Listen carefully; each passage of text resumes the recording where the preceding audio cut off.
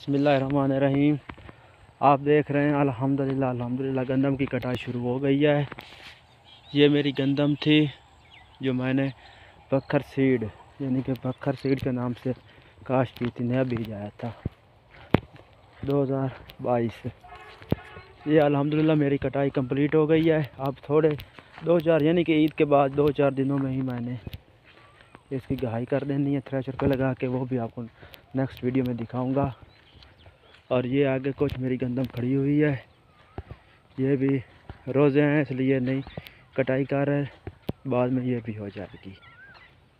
तो माशाल्लाह अल्लाह का शुक्र है।